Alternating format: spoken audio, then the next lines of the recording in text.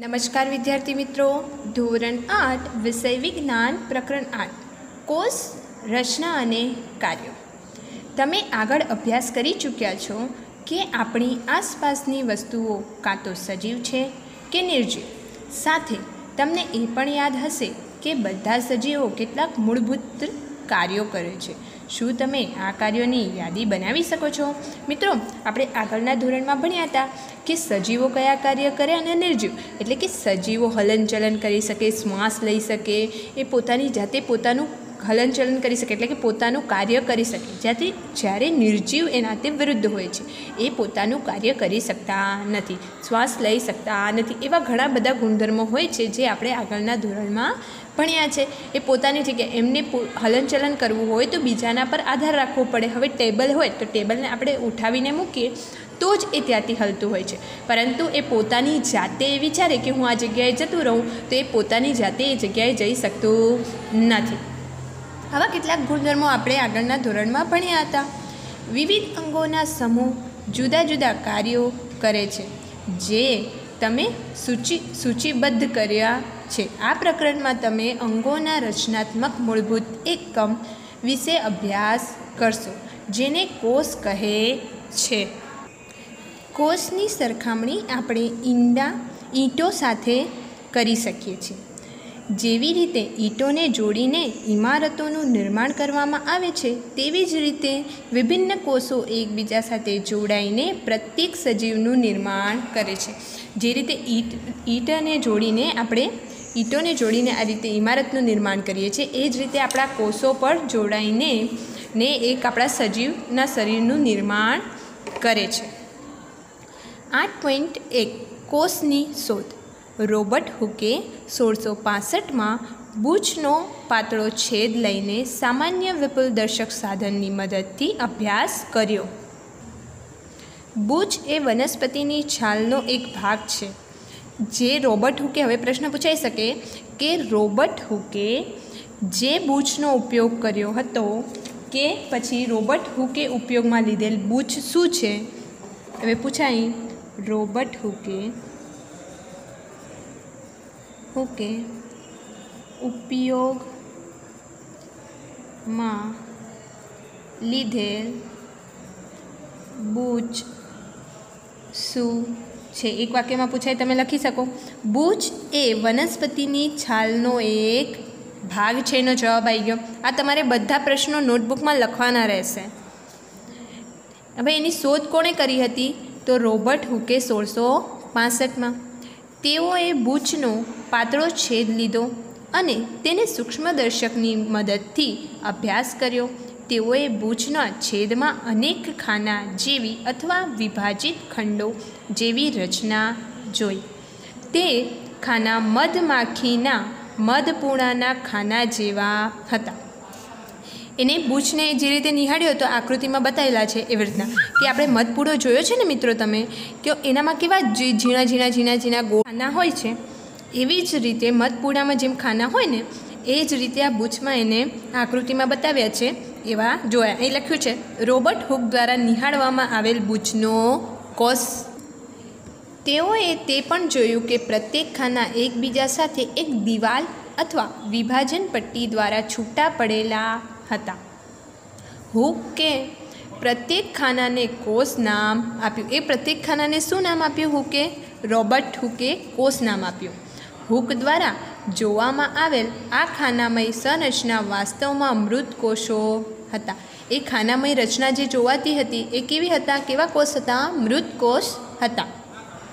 સજીવના જીવંત કોષને વધુ સારા માઇક્રોસ્કોપની શોધ પછી જ જોઈ શકાય રોબર્ટ હુકના અવલોકનના લગભગ એકસો પચાસ વર્ષ પછી પણ કોષો વિશે ઘણી ઓછી જાણકારી હતી.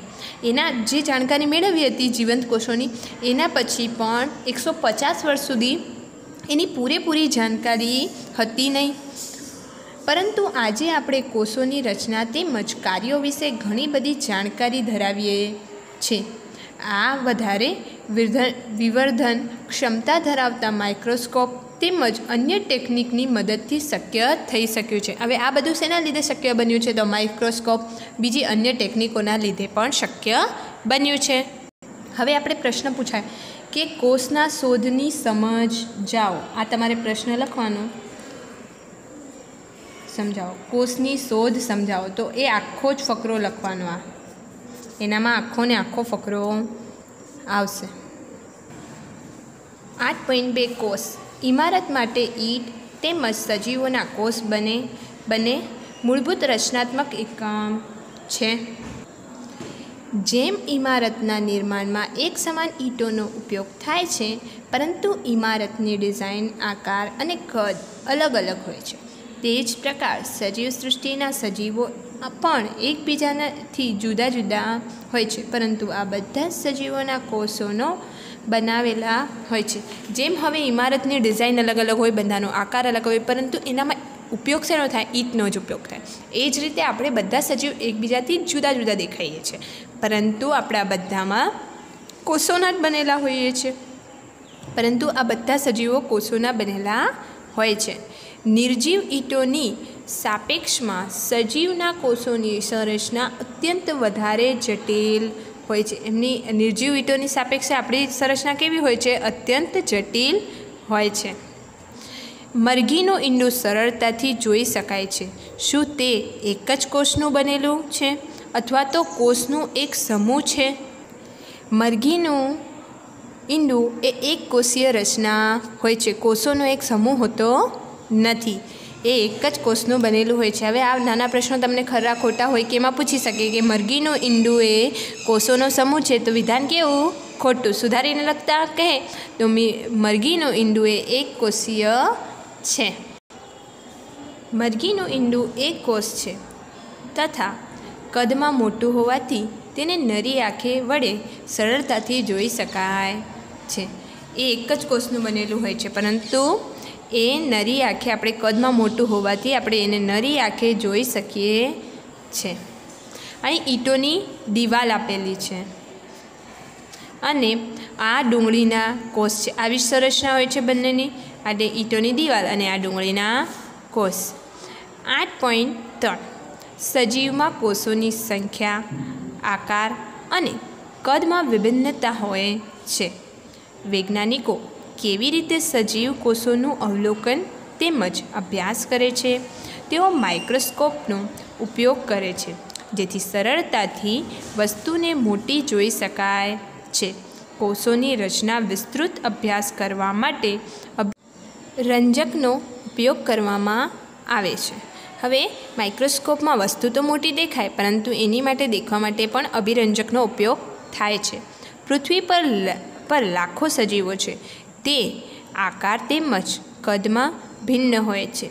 તેમના અંગો, આકાર, કદ અને કોષોની સંખ્યા પણ ભિન્ન હોય. હવે પૃથ્વી પર ઘણા બધા સજીવ હોય, પણ તેમના આકાર અને કદમાં શું હોય? વિભિન્ન હોય. બધાના કદ અને આકાર અલગ અલગ હોય છે અને તેમના અંગોના પણ આકાર, કદ અને કોષોની સંખ્યા પણ ભિન્ન હોય છે. ચાલો તેમાંથી કેટલાકનો અભ્યાસ કરીએ. સૌથી પહેલાં દેખીએ કોષોની સંખ્યા.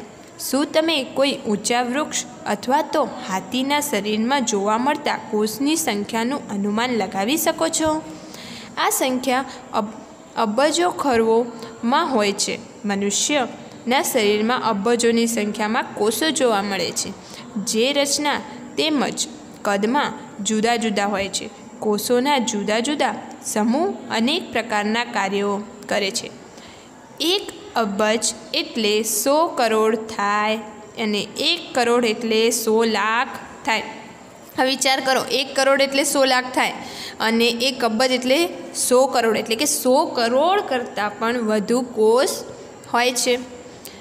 જે સજીવના શરીરમાં એકથી વધારે કોષોના બનેલા હોય છે, તેને બહુકોષીય સજીવ કહેવાય છે. બહુકોષીય સજીવની વ્યાખ્યા ખબર પડી? કે એક કરતાં વધુ કોષો હોય. નાના સજીવોના કોષોની સંખ્યા ઓછી હોય છે. તેમ છતાં પ્રક્રિયાઓને કોઈપણ પ્રકારે પ્રભાવિત નથી કરતા.